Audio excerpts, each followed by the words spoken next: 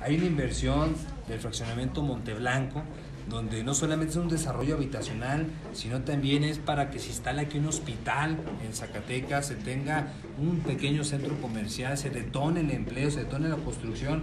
Y aquí están los señores empresarios. Eduardo López, un gran empresario, quien es de hecho el presidente del Consejo de Desarrollo Económico.